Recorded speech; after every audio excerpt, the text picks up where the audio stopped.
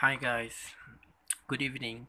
So today I'm going to talk about a little bit about FTIR, Fourier Transform Infrared Spectroscopy. So what actually what we can get from the FTIR?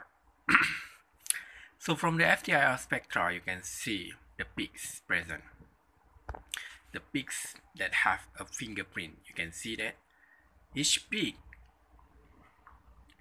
each peak represent something.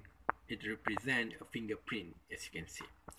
So the main purpose for FTIR is to know the functional group presence for each material.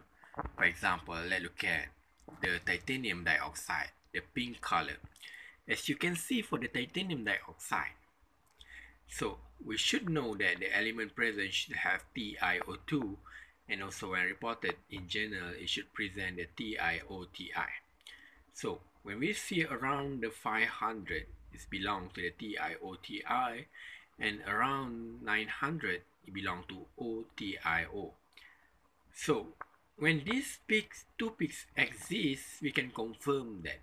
Because FTIR Fourier transform infrared spectroscopy is a confirmational study to confirm whether our material is deposited on our substrate or not so as you can see, when we look to other materials such as graphene oxide, it should have the OH around the 3500.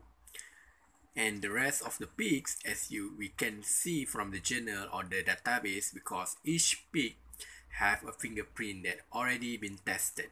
So we can just run our sample using the FTIR and what we can do is we can compare if when we run our sample the peaks present and when we confirm or refer with the journal it is the same so we can say that our material is successfully deposited.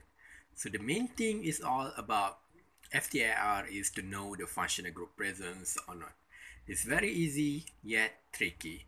If sometimes you have a problem in sample preparation the peak might overlap or the peak might be hidden so maybe you can repeat the analysis but if you prepare your sample very carefully and you confirm that your peaks have the peaks that should be present and the chances for your FTIR to be successful is very high.